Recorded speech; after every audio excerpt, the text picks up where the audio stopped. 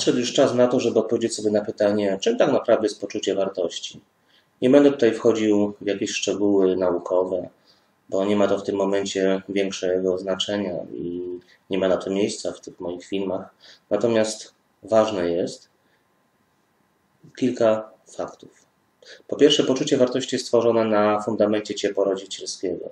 To w dzieciństwie rodzice dają nam pierwsze informacje o nas. Zupełnie inaczej będzie wyglądała nasza samoocena, kiedy będą mówili o nas: OK, super, dasz radę, nic się nie martw, nie przejmuj się, wszystko będzie dobrze. A zupełnie inaczej, kiedy będą mówili: No, znowu ci się nie udało, jesteś do niczego, zamknij się, to nie ma najmniejszego sensu, jesteś do niczego. Potem następuje taki okres, kiedy zaczynamy wchodzić w szersze środowisko zewnętrzne, kiedy zaczynamy porównywać to, co mówią o nas najbliżsi, nasza rodzina, rodzice, z tym, co mówi o nas nasze otoczenie, koleżanki, koledzy, przyjaciele, znajomi, sąsiedzi. Zaczynamy porównywać i mamy okazję zobaczyć, czy ta, te opinie, które mówią nam rodzice, są adekwatne i porównywalne z tym, co, jak widzą nas inni. Jeżeli powstaje jakiś dysonans, w tym momencie zaczyna się pytanie, co my chcemy i w co zaczynamy wierzyć. W przypadku narcyzów można powiedzieć bardzo tak potocznie, że te osoby przede wszystkim mają bardzo wysokie zdanie na swój temat, nie liczą się ze zdaniem innych i zawsze, kiedy będą mieli do wyboru wysoką ocenę o sobie, w swoim własnym mniemaniu albo swoich najbliższych, a opinie innych, wybiorą to, co jest zgodne z jego poczuciem własnej wartości, czyli wybiorą to, yy, kto mówi o tym, że są naprawdę the best, są nieźli, są najlepsi.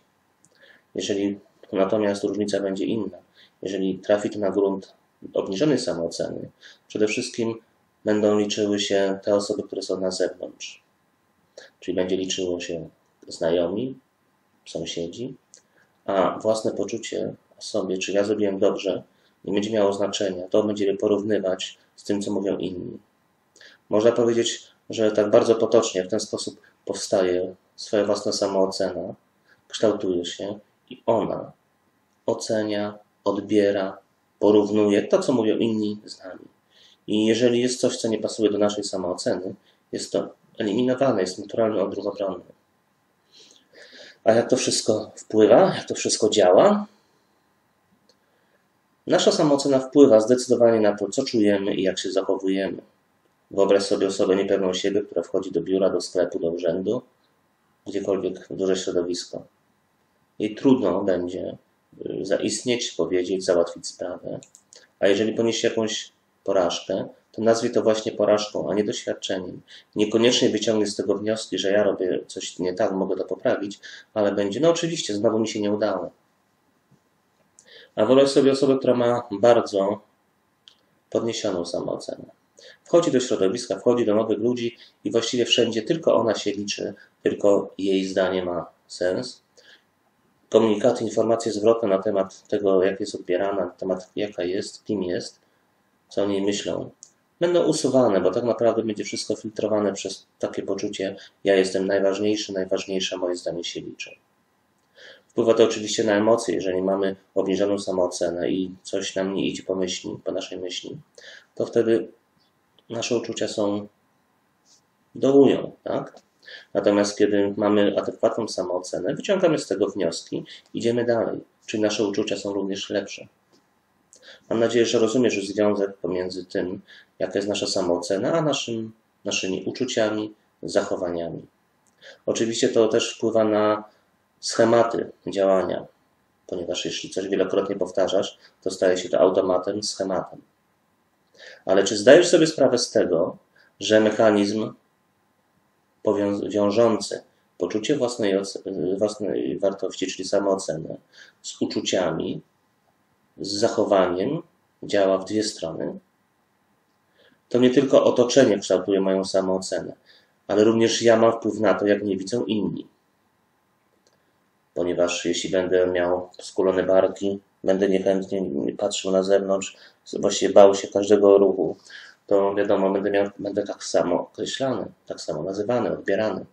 Jeżeli będę wchodził pewny siebie, z lekko wyprostowaną głową, uniesioną, z ramionami mm, tak jak troszeczkę na baczność, tak, tak bardziej podniośle, bardziej wzniośle, to też będę inaczej spostrzegany.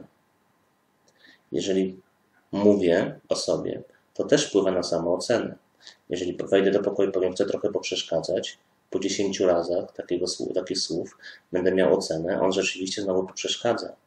A jeżeli powiem, chcę zająć chwilkę czasu, proponuję interesującą rozmowę, czy możemy porozmawiać, będziemy postrzegani po pewnym czasie, oczywiście po powtarzaniu tego schematu, jako osoba, która chce zająć troszeczkę czasu, chce porozmawiać i mówi coś ciekawego. Dlatego poczucie własnej wartości, samoocena oraz nasze uczucia, nasze zachowania, nasze schematy i wynikające z tego przekonania są połączone. Jest to relacja zwrotna. Jedno wynika z drugiego.